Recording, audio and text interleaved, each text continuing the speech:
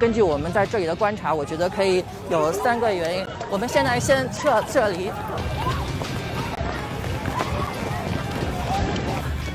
呃现在呢是呃八点就是宵禁开始的时候所以呢现在的这些示威的人呢开始呃往后面撤离。刚才呢其实在宵禁时间开始之前啊当地的警方就已经开始投掷防爆弹。